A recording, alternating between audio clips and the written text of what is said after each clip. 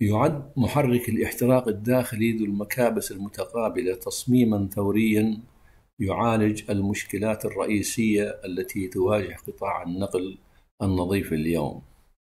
إنه محرك منخفض التكلفة وعالي الكفاءة يوفر الوقود ويقلل من الانبعاثات ويقلل من تكاليف الصناعة. تم اختبار هذا هذه المحركات على نطاق واسع وأظهرت تحسينات كبيرة في الكفاءة والانبعاثات مقارنة بمحركات الاحتراق الداخلي التقليدية.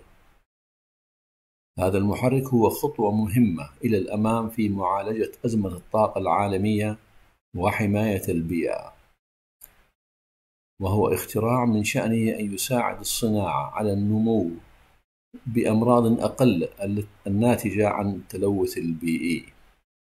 ويمكن القول إن هذه المحركات هي الأفضل على الإطلاق للطائرات المسيرة والمعدات العسكرية والثابتة مثل ضاغطات الهواء والمولدات وما شابه وكافة الصناعات أو الآليات العسكرية على الإطلاق.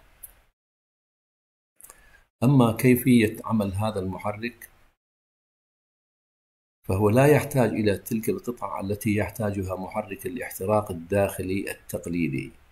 هو فقط عبارة عن المكابس وعمود الكام والأذرع فقط ولا يحتاج إلى عمود الكامات والصبابات أو الصمامات والنوابض وملحقاتها. ما يعزز من زيادة الكفاءة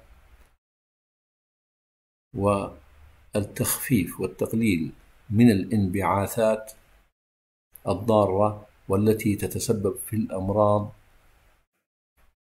أو بالأحرى بكثيرا من الأمراض.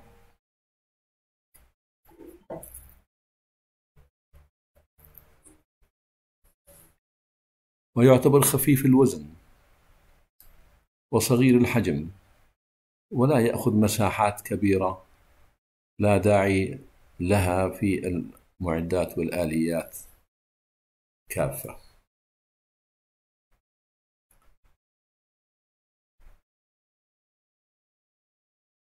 هذا المحرك هو نفس الأشواط تقريبا طول الشوط أو القياسات العاملة ويدفع القطع المتحركة باستقامة دون ميلان ما يسبب في تآكل المحركات